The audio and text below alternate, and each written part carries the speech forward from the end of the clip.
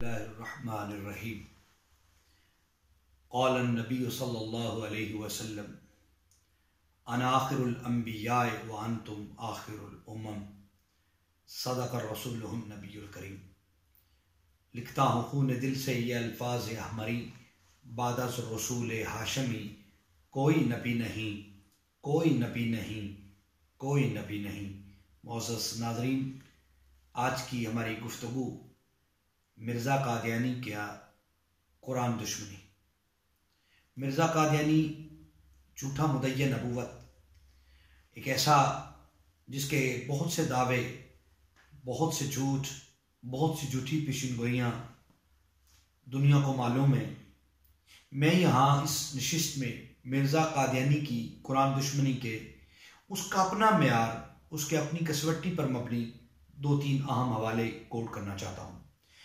معزز ناظرین، مرزا قادیانی نے اپنی کتاب روحانی خزائن، جو اس کا بکس کا مجموعہ، اس کی جماعت نے تیار کیا میرے ہاتھ میں ہے اس وقت، اور اس کی اپنی کتاب ازال اوہام حصہ اول۔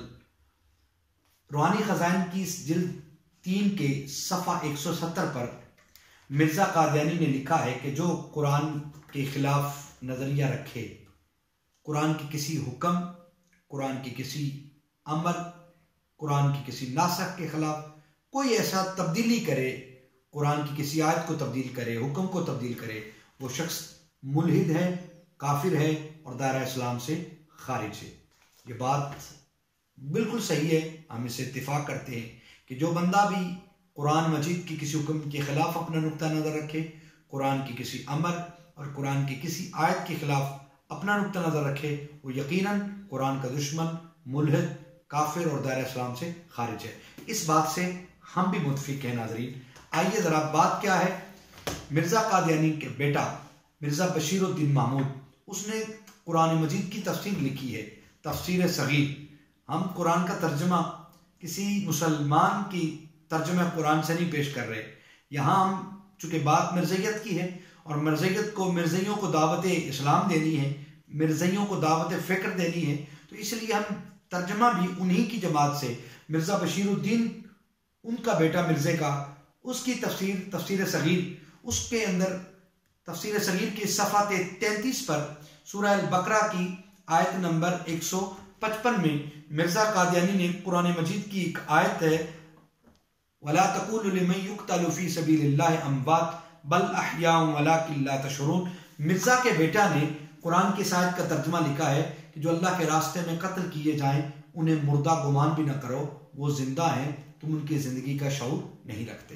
یہ آیت کریمہ اور اس کا ترجمہ بالکل ٹھیک ہے، ہم اتفاق کرتے ہیں۔ اب مرزا قادیانی کا اپنا معیار بھی سامنے رکھیے گا۔ مرزے کے بیٹے کے قرآن کی آیت کا ترجمہ بھی سامنے رکھیے گا۔ ناظرین، دیکھیے گا حوالہ کہ اس وقت ملفوظات مرزا قادیانی کے کتاب میرے ہاتھ میں ہے۔ جلد اول ہے، اس کے صفحہ نمبر چار سو پہ۔ مرزا قادیانی نے ایک عبارت لکھی ہے کہ اس لیے یاد رکھو کہ پرانی خلافت کا جھگڑا چھوڑو، اب نئی خلافت لو، ایک زندہ علی تم میں موجود ہے، اس کو چھوڑتے ہو اور مردہ علی کی تلاش کرتے ہو۔ ناظرین، یہ حوالہ بھی آپ اپنی آنکھوں سے دیکھ سکتے ہیں کہ مرزا قادیانی کی ملفوظات جلد اول میں اس میں حضرت مولا کائنات شیر خدا اللہ مشکل کشا کو اللہ یاز باللہ، نکر کفر کفر نباشت اس نے معاذ اللہ مردہ کہا ہے۔ جبکہ قرآن شہید کو زندہ کہتا ہے اور دنیا جانتی ہے کہ مولا علی مرتضی شیر خدا شہید ہوئے ہیں۔ اور ابن ملجم نے انہیں اپنے خنجر کے وار سے زخمی کیا، جس زخم کتاب نہ لاتے ہوئے انہوں نے جامع شہادت نوش کیا۔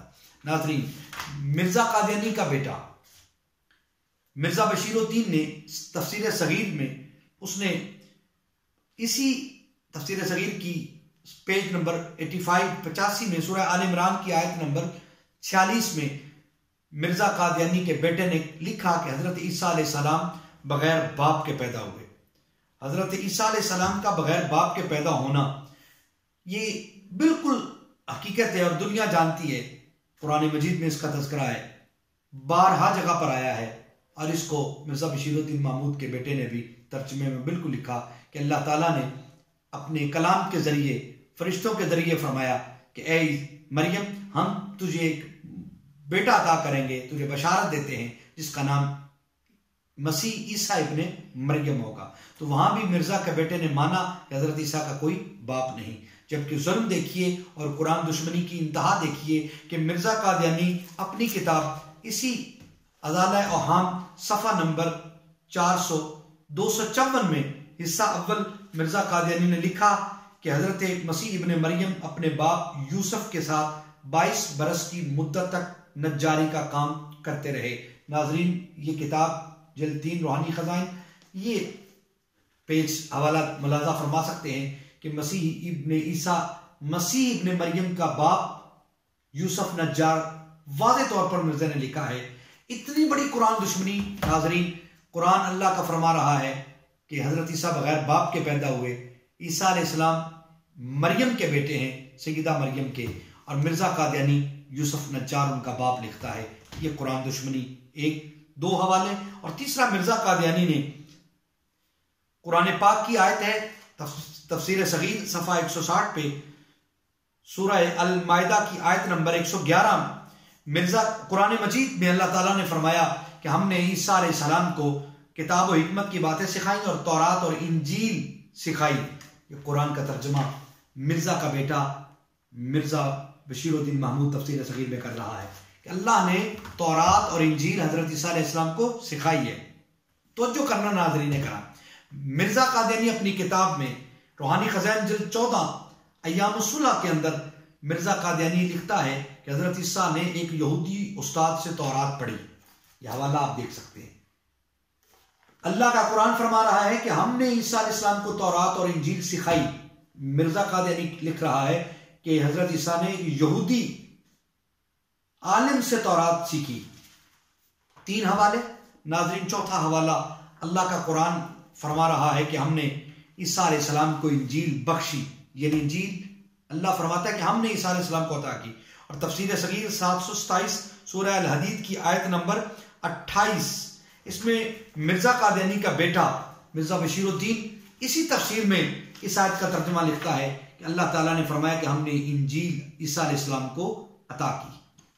کلیئر ہو گیا؟ یہ بات اس میں کوئی شک نہیں۔ لیکن مرزا قادیانی اپنی کتاب روحانی خزائن جلد گیارہ میرے ہاتھ میں ہے۔ اس کے اندر مرزا قادیانی نے لکھا کہ حضرت عیسیٰ علیہ السلام یہودیوں کی کتاب تال موت سے چرا کر لکھا ہے۔ استغفر اللہ علیہ باللہ۔ یہ حوالہ پیش خدمت ہے۔ مرزا قادیانی کہتا ہے کہ حضرت عیسیٰ علیہ السلام نے یہودیوں کی کتاب تال موت سے چرا کر انجیل کو لکھا ہے؟ جبکہ اللہ قرآن میں فرما رہا ہے کہ ہم نے انجیل عیسیٰ علیہ السلام کو سکھائی۔ مرزا قادیانی کہہ رہا ہے کہ حضرت عیسیٰ علیہ السلام نے یہودیوں کی کتاب تالمود سے چرا کر لکھا ہے۔ چار ایسے قرآن کی واضح حکام کے خلاف مرزا قادیانی نے جھوٹ لکھا ہے۔ اور مرزا قادیانی کی اپنی کتاب روحانی خزان جلد تین میں جو اصول بیان ہوا ہے، وہ یہ کہ جو قرآن کے خلاف نظریہ رکھے قرآن کے کسی حکم کے خلاف لکھے یا مانے، یا قرآن کی کسی نسق نسق کا انکار کرے، یا قرآن کی کسی آیت کا انکار کرے، یا قرآن کے خلاف نظریہ رکھے، مرزا قادری نے لکھا کہ وہ شخص دائرہ اسلام سے خارج، کافر اور ملحد ہے۔ میں قادیانیوں کو دعوت فکر دینا چاہتا ہوں کہ مرزے کی سی کٹیشن مرزے کسی کسوٹی پر آپ مرزے کے ان چاروں حوالوں کو دیکھیے۔ اور تفسیر صغیر کی روشنی میں ہی دیکھ لیجیے کہ مرزا قادینی نے چار مقام پر قرآن کی مخالفت کی، قرآن کی مخالفت کرنے والا، قرآن کے خلاف نظریہ رکھنے والا، مرزا کے بقول ہی وہ کافر، ملحد اور دار اسلام سے خارج ہوا۔ قادیانیوں کو ایک دعوت فکر ہے، شاید کہ ان کے دل میں اتر جائے یہ بات۔ اور اللہ کرے انہیں ہدایت کا تحفہ نصیب ہو جائے اور مرزا قادیانی کی حقیقت ان کے سامنے کھل جائے۔ وما علیہ البلاغ